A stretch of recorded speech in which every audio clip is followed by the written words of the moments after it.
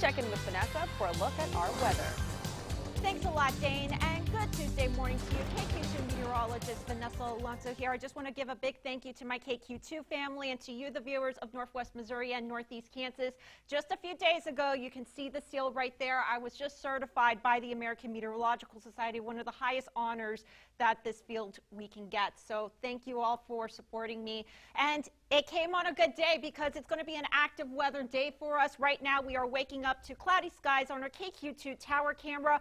Now, if you live in our northern counties like Holt, Atchison, Gentry counties in northwest Missouri, you're under a winter storm warning from now through 9 a.m. tomorrow morning because you could be seeing anywhere from 5 upwards to 7 inches of snow over the next 24 hours. For the city of St. Joseph, including Buchanan, Andrew counties, Doniphan, Atchison counties, and northeast Kansas, you're under a winter weather advisory beginning at 6 o'clock tonight, lasting through 9 a.m. on Wednesday because you could be getting anywhere between 2 upwards to 5 inches of snow thanks to our next winter storm that will make a big impact on us, especially out on the roads. We're dealing with thick clouds this morning on our KQ2 high resolution max satellite and radar. All is quiet, but as I zoom this out, you can already see a lot of moisture up in the near the Gulf of Mexico, and we have a strong area of low pressure that is setting up. This is our next storm system. This is going to lift all of this moisture into northwest Missouri and northeast Kansas later on this afternoon.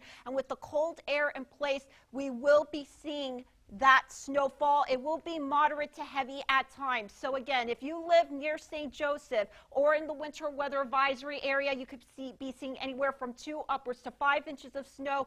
For our northern counties where the winter storm warning is, you could see anywhere to five plus inches of snow. And again, this is going to cause slick spots and impacts on the roads and highways. It is a cold start to our day. We are waking up to 9 degrees right now in Falls City, 14 right now in Mound City, 13 in St. Joseph, 18 in Cameron, 17 in Kansas City and Maysville. So parents, as you're getting your kids ready for the bus stop this morning, make sure that they are bundled up good as it's going to be a cold but cloudy start to our day. But as we go into the afternoon, we are going to see those chances for widespread snow to begin with a 30% chance at 4 p.m going up to 90% chances by 8 o'clock. And again, this is going to cause some major issues on the roads as they're going to become snow covered pretty fast.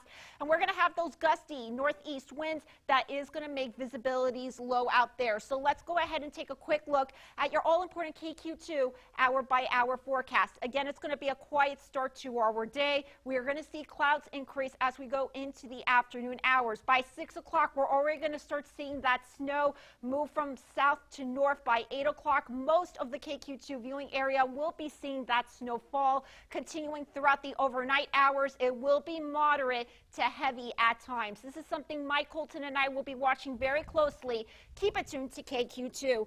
31 for your high today with cloudy skies early, then the snow moves in late, and then your all-important KQ2 5 to 7 day forecast will rebound into the 40s by the second half of the work week day with lots of sunshine and then a chance of rain in the forecast by Saturday.